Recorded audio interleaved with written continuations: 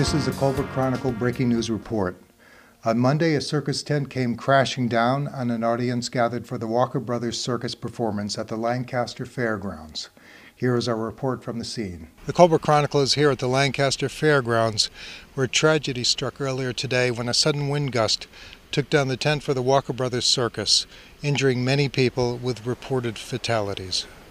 We spoke with Ellen Ruck, who lives nearby and who had considered going to the show. The last few days, I considered on coming, and I had the extra uh, ticket for my niece, and and I decided it's been a hectic day, and that I probably would not go.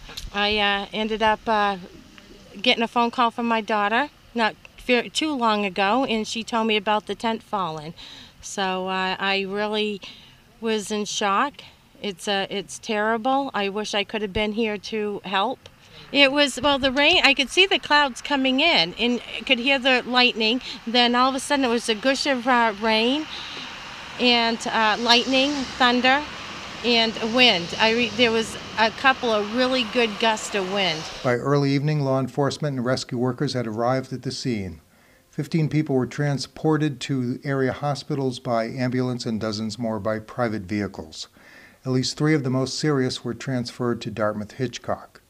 The massive tent which collapsed is seen here just 48 hours earlier during a Walker Brothers appearance in Colebrook.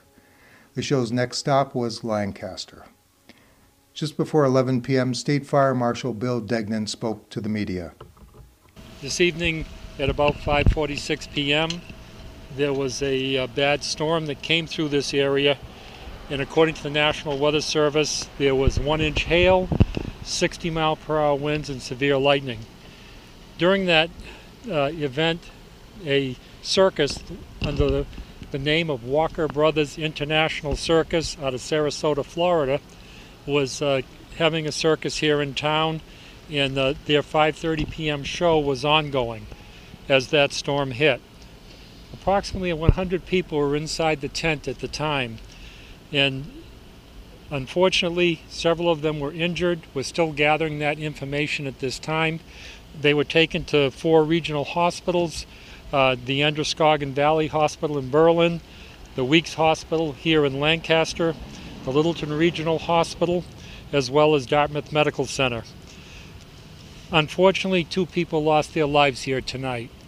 There was a, a um, young gentleman and a young uh, girl that lost their lives.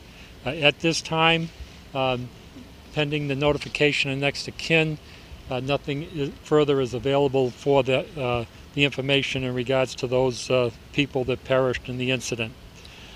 Uh, the investigation is being conducted here by the Office of the State Fire Marshal due to the collapse, and it's be, we're being assisted by New Hampshire State Police as well as Lancaster Police and Fire. And we anticipate that we'll be working here throughout part of the evening as well as uh, most of the day tomorrow uh, conducting our investigation. The victims were spectators. They were guests uh, here at the, the circus. The uh, fire department did uh, arrive on the scene uh, very quickly, as, long as, as, well as the local police department from Lancaster. The investigation is in its very early stages, and we'll look at every detail from the investigation to see, you know, if things were done properly. Look for a more complete report on this developing story in this week's Colebrook Chronicle and the video news of the week.